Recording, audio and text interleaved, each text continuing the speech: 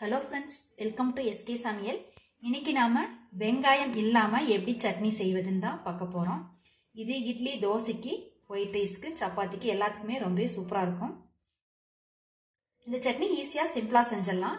இந்த வீடியோ உங்களுக்கு யூஸ்ஃபுல்லாக இருந்துச்சுன்னா எஸ்கே சமையலுக்கு சப்ஸ்கிரைப் பண்ணுங்க. வாங்க எப்படி செய்யலாம்னு பார்க்கலாம். ஒரு கடாய் ஹீட் பண்ணிக்கங்க. ஹீட் ஆனும் ஆயில் ரெண்டு ஸ்பூன் விட்டுக்குங்க. ஒரு ஸ்பூன் கடலைப்பருப்பு. ஒரு ஸ்பூன் உளுந்தம்பருப்பு நல்லா பொன்னிறமாகி நல்லா ஃப்ரை பண்ணிக்கலாம். அடுத்தா பத்து பல் பூண்டு பொடியாக கட் பண்ணி ஆட் பண்ணிக்கலாம்.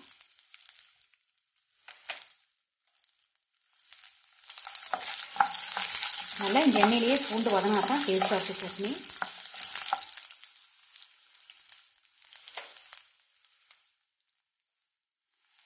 மூணு காஞ்ச மிளகாய் கருவேப்பிலை கொஞ்சம் புளி கொஞ்சமாக எடுத்து ஆட் பண்ணிக்கலாம்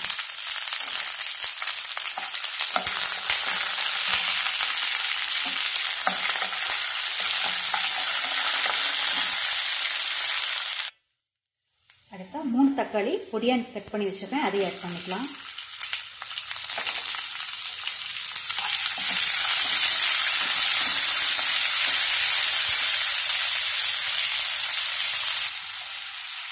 உப்பு தேவையானதை ஆட் பண்ணிக்கலாம். தக்காளி நல்லா வதங்கி தொக்கு பார்த்து கழணும் அப்போ தான் சட்னி டேஸ்ட்டாக இருக்கும். அதெல்லாம் நல்லா வதக்கணும் தக்காளி நல்லா வதங்கிடுச்சு. இப்போ கொத்தமல்லி கொஞ்சம் ஆட் பண்ணிக்கலாம். புதினா கொஞ்சம் ஆட் பண்ணிக்கலாம்.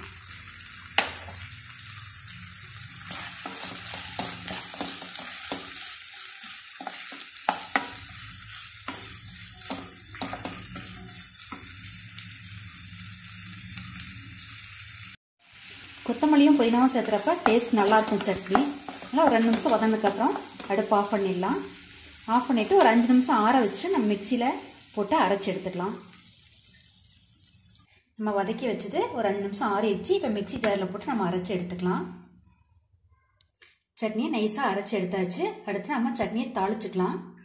கடாயை ஹீட் பண்ணிக்கங்க. ஒரு ஸ்பூன் எண்ணெய் விட்டுக்கலாம். எண்ணெய் காஞ்சதும் கொஞ்சமாக கடுகு ஆட் பண்ணிக்கங்க. கடுகு பொரிஞ்சிருச்சு. ஒரு ஆஃப் டீஸ்பூன் கடலப்பருப்பு இந்த மாதிரி ஆட் பண்ணிக்கலாம். அடுத்தா கருவேப்பிலை ஆட் பண்ணிக்கலாம். அடுப்பு ஆஃப் பண்ணிட்டு நம்ம எடுத்து சட்னிக்கில் ஆட் பண்ணிக்கலாம்.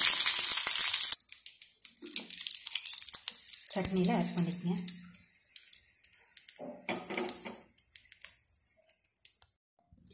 வெங்காயம் இல்லாத ஈஸியான சிம்பிளான ஒரு கார சட்னி ரெடி ஆயிடுச்சு.